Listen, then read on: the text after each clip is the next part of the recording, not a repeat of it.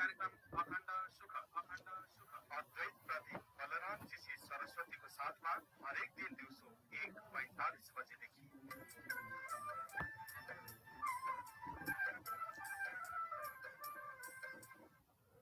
सबैलाई प्रेमले अभिवादन।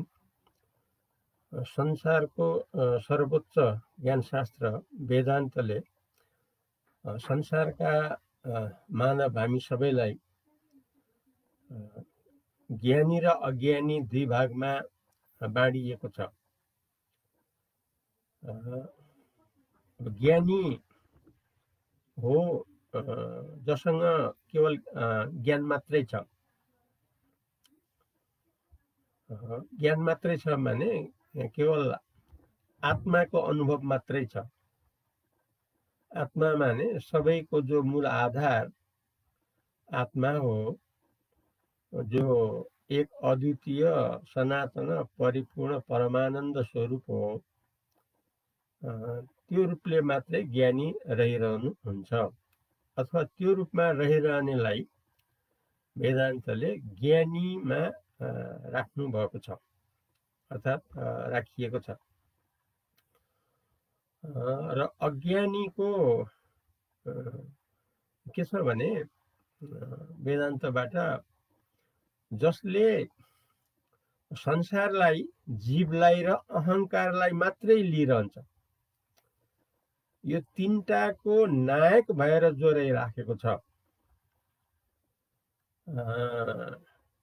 नायक माने अब मुली नेतृत्व अभिमान भाव यी तिनटामा जो अग्रणी भएर रहेको पाइन्छ। यस्तो स्थिति छ अज्ञानीको। अब यो दुई भागमा जो बाँडिएको छ, यो बाँड्नुको तात्पर्य के हो भने संसारका हामी सबैले, हामी कुन विभागका रहेछौँ? अर्थात् ज्ञान स्तरको अथवा अज्ञान स्तरको? त्यो चाहिँ नि छुट्याउन सम्भव होस् र ज्ञानीमा भए त्यो दृढ रूपमा रहिराख्ने अटल रूपमा अचल रूपमा किनकि त्योभन्दा पर त कुनै स्थान छैन। त्यो अन्तिम र परिपूर्ण हो। त्यो त मुक्त स्वरूप हो। परमानन्दले सनातन रूपले सधैँका लागि थिति हो। होइन त्यो थितिमा यदि आफ्नो रहेनछ भने त्यो थितिमा पुग्नको लागि प्रयत्न होस्। सबै किसिमको उपाय अप्नाइयोस् अर्थात् ज्ञानी हुनलाई आवश्यक कुराहरू आधारहरू सम्पूर्ण अ, ज्ञान शास्त्रहरूमा अ, वेदान्त आदि शास्त्रहरूमा रहेको छ। ती सबै उपायहरूलाई अपनाएर अनि ज्ञानीमा परिणत भएर संसारका सबै नै ज्ञानी रूपमा अर्थात् ज्ञानवान रूपमा रहिरहन सम्भव होस् र संसारका सबैलाई सधैँ सुख शान्ति मिलिरहन सकोस् भन्ने यस्तो वेदान्त शास्त्रको अभिप्राय छ। हुनाले ज्ञानी भन्नाले जसँग केवल ज्ञान मात्र छ। अर्थात् अज्ञानलाई उहाँले समूल नष्ट गरिसक्नु भएको छ। र यसरी अज्ञानलाई जरैदेखि नष्ट गरेको हुनाले उहाँको स्थिति ज्ञान रूपमा रहेको हुन्छ। यसरी उहाँ ज्ञानमा रहिरहनुहुन्छ। अब ज्ञानमा रहिरहनु आफ्नो वास्तव स्वरूपमा रहिराख्नु। त्यसैले ज्ञानमा रहिरहनु नयाँ कुरा होइन। त्यसैले ज्ञानीमा नयाँ कुरा हुँदैन। किनभने नयाँ कुरा अरू छैन। जो अन्तिम हो त्यो आत्मा रूपले मात्रै रहिरहनु हो। आत्मा रूपले भनेको आत्मा भगवान रूपले रहिरहनु। आत्मदेव। यस्तो आत्मा रूपमा रहिरहनु यो त सबैको मौलिक र सनातन स्वरूप हो। यसलाई नयाँ भन्न त हामी मिल्दैन। किनभने यो त अनादि देखि रहिआएको यथार्थ स्वरूप हो। त्यसैले ज्ञानी जो अज्ञान रहित ज्ञानमा रहिरहनु भएको हुन्छ उहाँमा नयाँ कुरा हुँदैन। किनभने नयाँ कुरा छैन। अब अब नयाँ कुरा छैन भने अब पुरानो कुरा के हो त? भन्ने सन्दर्भमा पुरानो कुरा के हो भने अनेक प्रकारका चित्तवृत्तिहरू खडा गरिराख्नु अर्थात् अनेक अनेक कुराहरू अनेक अनेक विषयहरू अनेक अनेक प्रसङ्गहरू यो संसार सम्बन्धी जीवभाव सम्बन्धी अहङ्कार सम्बन्धी यी तिनवटा सम्बन्धी, किनकि संसारभित्र जे छ, यी सबै, यी तिनै रूप हो। तम तमरूप रजरूप सत्वरूप यहाँ भएको त संसारमा त यही तिनवटा हो। यही तिनवटाबाट नै हजारौँ लाखौँ करोडौँ अरबौँ खरबौँ चाहिँ फैलिँदै गइरहेको छ। तर मूल त संसारमा यही तिनवटा कुरा हो। यही तिन वृत्ति हो। अब यो जो तिन वृत्ति छ अब अज्ञानीको चाहिँ नि अब यही तिन वृत्तिमा रहिरहेको हुन्छ। वृत्ति समय भावना चेष्टा अब यसलाई चाहिँ नि यो तिन तिन वृत्तियुक्त अहङ्कार तिन वृत्तिको नायक भनिन्छ। यस्तो तिन वृत्तिको नायक को भनाइ के हुन्छ भने मैले ब्रह्मस्वरूपलाई जान्दिनँ यस्तो भनाइ हुन्छ। अहङ्कारको किनकि अहङ्कारलाई त यो जीव जगतको बारेमा मात्रै थाहा छ। यो संसार हो यो पृथ्वी हो यो पहिलेदेखि चलिआएको संसार हो सधैँ रहिरहने हो। यत्रो ठुलो संसार यत्रो विचित्र संसार भन्ने यस्तो चाहिँ नि विश्वास छ। यसमा आधारित हो। र यसै कारणले भनिन्छ यो अहङ्कारीको किनकि अज्ञान कोटिको भएको हुनाले मैले यो ब्रह्मस्वरूपलाई जान्दिनँ। ब्रह्मस्वरूप भनेको आत्मस्वरूप। परमात्मा स्वरूप भगवान् स्वरूप सनातन शुद्ध चैतन्य स्वरूप जो वस्तु हो यसबारे मैले जान्दिनँ भनेर यस्तो अज्ञानता प्रकट गरिएको हुन्छ। तर ज्ञानीको कस्तो छ भने फेरि ज्ञान मात्रको अनुभव लगातार स्वत अनुभव गरिरहेको स्थिति छ। किनकि उहाँले ज्ञान मात्र देख्नुहुन्छ।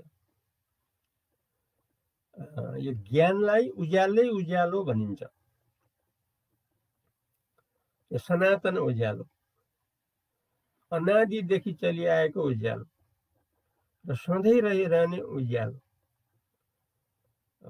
जो सत रूपले सदाकालीन रूपले एकनाश रूपले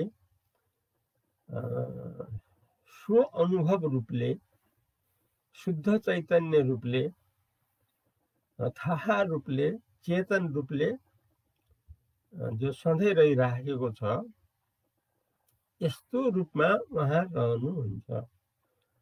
र यो जो चेतन वस्तु छ जो आत्मा वस्तु हो यो आत्मा वस्तु आफ्नै प्रकाशबाट सधैँ प्रकाशित भइराखेको हो।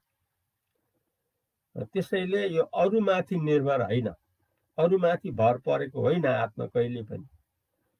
अरू अरू आत्मामा भर परेर रहेका हुन्छन्। जस्तो संसार छ जीवभाव छ अहङ्कार छ यिनीहरूको आधार आत्मा हो। आत्मा नभइकन न संसार रहन सक्छ न जीवभाव रहन सक्छ न अहङ्कार भाव रहन सक्छ। किनकि जस्तो अब इँटाहरू छ भने हल दोयम सिमचार इँटाहरू छ भने त्यो त्यसको लागि त माटो चाहियो नि। माटो बिना त यिनीहरू उत्पन्न हुन सक्दैनन्। माटो बिना यिनीहरू रहिरहन पनि सक्दैनन्। त्यसैले इँटाहरूको भुड्कीहरूको जति पनि माटोका भाँडाहरू छन् ती भाँडाहरूको आधार त माटो हो। माटो बिना त यिनीहरू उत्पन्न हुन पनि सक्दैनन् रहिरहन पनि सक्दैनन्। तर माटोलाई इँटा बिना पनि रहिरहन सक्छ। भुड्कीहरू बिना पनि रहिरहन सक्छ। किनभने माटो त परिपूर्ण हो उदाहरणको लागि। तर इँटाहरू चाहिँ नि परिपूर्ण होइनन्। किनभने उसलाई माटो अर्थात् मूल आधार उसलाई चाहिन्छ। त्यस्तै गरी यो संसार भाव जीव भाव अहङ्कार भाव यो इँटाहरू जस्तै हो। यिनीहरूलाई चाहिँ नि उत्पन्न हुनलाई पनि आधार चाहिन्छ। जस्तो जति उत्पन्न भएका छन् आत्मामा नै उत्पन्न भएका हुन्। रहिरहनलाई पनि आत्मा नै चाहिन्छ।